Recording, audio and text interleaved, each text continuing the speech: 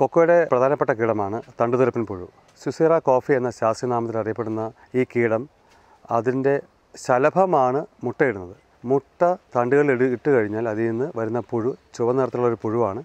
അതാണ് തണ്ട് തുരന്ന് ചെടിക്ക് നാശം ഉണ്ടാക്കുന്നത് ഒരു സീസൺ എടുക്കുകയാണെങ്കിൽ ഒക്ടോബർ മുതൽ മെയ് മാസം വരെയുള്ള കാല സമയത്താണ് ഇതിന്റെ ആക്രമണം കൂടുതലായിട്ട് കണ്ടുവരുന്നത്.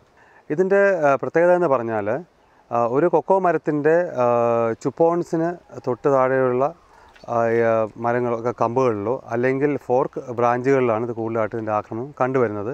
ഇത് അറിയാനുള്ള എളുപ്പമാർഗം ആക്രമിച്ച ശേഷം തണ്ടുകളിൽ കൂടെ കറ ചെറുതായിട്ട് ഒലിച്ചു വരികയോ അല്ലെങ്കിൽ തണ്ടുകൾ കൂടിച്ചേരുന്ന ഫോർക്ക് ഏരിയയിൽ ചവച്ച് തുപ്പിയ പോലെ ചണ്ടികളുടെ അല്ലെങ്കിൽ നനവുള്ള അറക്കപ്പൊടി കാണുന്നതാണ് ഇവ ആക്രമിച്ചു കൊണ്ടിരിക്കുന്നതിനുള്ള പ്രധാന ലക്ഷണം നമുക്കറിയാൻ പറ്റുന്നത്.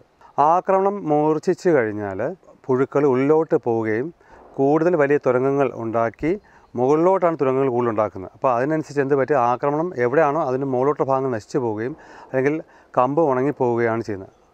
എന്നാൽ ചില സമയങ്ങളിൽ ഒന്നിൽ കൂടുതൽ പുഴുക്കൾ ഒരു ഒരു കൊക്കോ മരത്തെ ആക്രമിച്ചു കഴിഞ്ഞാൽ ആ മരത്തിന് പട്ട് നശിച്ചു പോകാനുള്ള സാധ്യത കൂടുതലാണ്. പ്രത്യേകിച്ച് ഇളം പ്രായത്തിലുള്ള ചെറു മരങ്ങളിലാണ് ഇത് കൂടുതൽ ആക്രമണം കാണുന്നു എന്നുള്ളത് മറ്റൊരു പ്രത്യേകത കൂടെയാണ് കൊക്കോയുടെ തണ്ടുതുരപ്പൻ പുഴുക്കളെ നിയന്ത്രിക്കുന്നതിന് വേണ്ടി പ്രധാനമായും നമ്മൾ ശ്രദ്ധിക്കേണ്ടത് സമയബന്ധിതമായിട്ട് തോട്ടത്തിലുള്ള പഴയ കമ്പുകൾ മറ്റും കോതിക്കളയുക.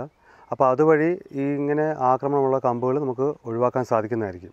നമുക്ക് ജൈവ രീതിയിൽ തന്നെ നിയന്ത്രിക്കാൻ സാധിക്കും. ആദ്യം തന്നെ ആക്രമണം നമ്മുടെ ശ്രദ്ധയിൽ പരി വരികയാണെങ്കിൽ അതിന് നമുക്ക് ബുവേറിയ ബാസ്യാന എന്ന് പറയുന്ന മിത്രക്കുമിൾ അത് ഇരുപത് ഗ്രാം ഒരു ലിറ്റർ വെള്ളത്തിൽ കലക്കിയ ലായനി അത് നമുക്ക് കൃത്യസമയങ്ങളിൽ ചെടിയുടെ പുറത്ത് തളിച്ചു കൊടുക്കുക. പ്രത്യേകിച്ച് ഈ തണ്ടുകൾ കൂടിച്ചേർന്ന ഭാഗത്ത് തളിച്ചു കൊടുത്താൽ ഈ ശലഭം മുട്ടയിടുന്നതും അതിന്റെ പുഴു വളരുന്നതും നമുക്ക് തടയാൻ സാധിക്കും.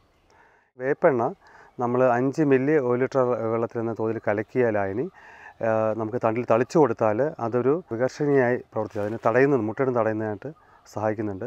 അതിലുപരി പുഴുവിനെ കൊല്ലാൻ സഹായിക്കുന്നുണ്ട്. ഇനി ജൈവ രീതിയിൽ വേറൊന്നാണ് മിത്ര നിമാവിര എന്ന് പറയുന്ന നമ്മളെ പരാതിജീവികൾ ഉപയോഗിക്കുന്നത്. ഈ മിത്ര നിമാവിര അടങ്ങിയ കടാവറുകൾ നമുക്ക് വേണമെങ്കിൽ ആക്രമണം വന്ന് തുടങ്ങിക്കഴിഞ്ഞാൽ ആ സുഷിരങ്ങളിൽ കൂടി ഇട്ട് കൊടുത്ത് കഴിഞ്ഞാൽ ഈ നിമാവിര പുറത്തിറങ്ങി ഈ തണ്ടുതിരപ്പം പുഴുക്കളുടെ മണം പിടിച്ച് അങ്ങോട്ട് പോയി അവയെ കൊന്ന് തുരന്ന് തിന്നുന്നതായിരിക്കും.